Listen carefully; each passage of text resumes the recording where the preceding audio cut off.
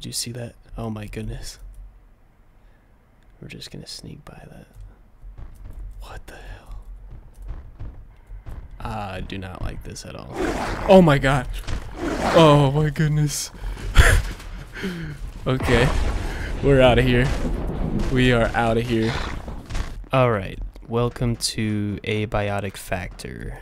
Uh, this game kind of has a Project Zomboid and Half-Life vibe to it, as well as a lot of other games. Uh, but for me, I was getting pretty, was feeling pretty stale with survival craft games, and when I came across this game, kind of had like a childlike excitement going on, uh, which is pretty good. That usually is a pretty good feeling for me to, what was that? Pretty good feeling for me to put in some hours into a game. Now, I'll probably only have about six hours in this game so far, but really wanted to make a video on it to tell you about it. Um, it's on sale for another day, and I really think that you should check it out if you're a big survival craft person. Yeah, this game has a lot of horror aspects to it and is quite scary. Um, but yeah, let me just kind of give you, just walk around the facility a little bit and kind of walk you through what I'm doing now. So, so we just gained access to the level three, and at the start of the game, I had to like open a door, and there was a guy that was um, pretty scared and um, I thought I was to save him, but instead a big enemy busted through the door and I had to kill him. This game has like horror aspects to it, and the power goes out, and um, there's just a lot of mystery, which is something pretty new to me while playing these kind of games. You can check these computers laying around, and there's emails on them. I think it explains some of the lore.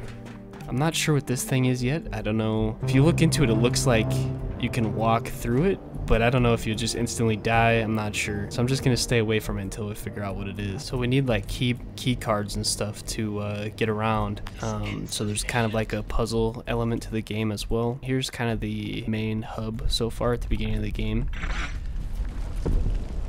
Uh, did you see that? Yeah, you can you can like hear stuff rumbling around and come down here and this is kind of where I set up my main base and I was explaining earlier I built this crafting table and you have to like plug it in. You can use this to craft like recipes and stuff like that. There's some pretty cool stuff on here and I think you can find more recipes as well. Here's a terminal that I, I perceive a distinct lack of snacks. Oh, my guy's getting hungry, isn't he? Yeah. So here's a terminal that has this, something about crossbows on here, so I'm wondering if there's some sort of uh, crossbows in the game, which I'm sure there is. And I broke my weapon. These guys are little guys compared to some other things that I've seen roaming around in here. There's like some crazy aliens. Yeah, and you just want to make sure to kind of explore around because um, this way you're kind of unlocking the lore to the game as well as finding items that you need to progress, which is pretty cool. Look at this pool. I'm afraid to jump in it because I think the water is radiated, but I'm not too sure. Any snacks? Oh, this is making me a little nervous. Yeah, see this? We're like in a big cave. Wow. Oh, there's the tram right there. The tram is missing. Oh, did you see that? Oh my goodness. We're just gonna sneak by that.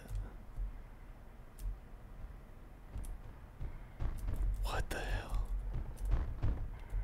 I do not like this at all. Oh my god. Oh my goodness. okay. We're out of here. We are out of here. Alright, can we use this please, please, please? Oh. Oh boy. Oh, look at those things. My voice is shaking pretty bad right now because that scared me.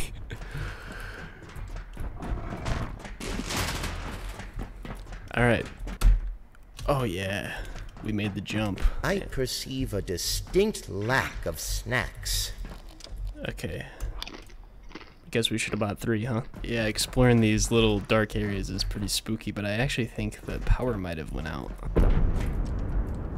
Okay, I think we unlocked a shortcut. I think that is pretty good stopping point right there. I just wanted to kind of roam around the game and show you um, like I said, I've only played about maybe six hours of this game, and I'm pretty much completely sucked into the environment. And I'm really excited to see uh, where the game goes and what kind of weapons you can get, how far you can take the crafting, and where the story ends up. And um, yeah, I'm thinking about maybe doing some kind of like let's play style videos on this game. Yeah i don't know. I guess we'll see how this video does. Um, yeah anyway let me know if you're gonna end up getting this game or if you have tried it out. Uh, let me know how you feel about it if you've put a lot more hours into it. But yeah i'll see you next time